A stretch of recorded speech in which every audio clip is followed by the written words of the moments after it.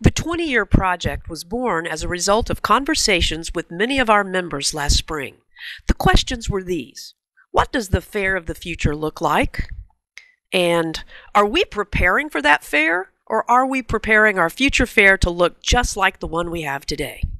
We invited our convention attendees to pre register for any of six different 20 year project sessions, then to come prepared for some intensive brainstorming.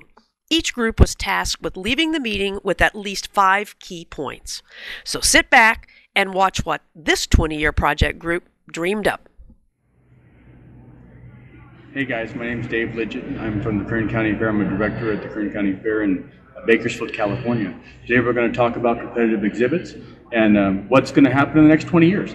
Um, competitive exhibits are an important part of the fair. We want to make sure that they stay in the fair, um, especially the traditional exhibits. We want to make sure that we keep the traditional exhibits of the fair in, uh, in our fairs.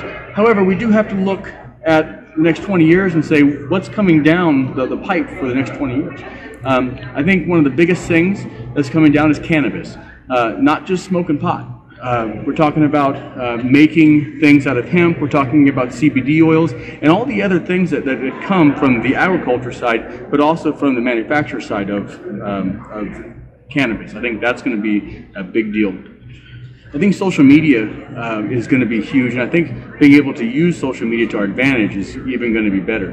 Um, I think we need to come up with a plan to have the kids, uh, the millennials, have a um, way of knowing how to enter their exhibits into the fair. I think if we were able to make a 15 second video and explain real quick to the kids, to the millennials, this is what uh, you do to, to come into our fair. This is how you, you show what you like. I think that's really going to help us out.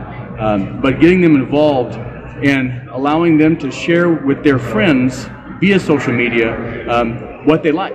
So uh, allowing them to say, hey, I like this, and that may bring in more of their friends to um, support them.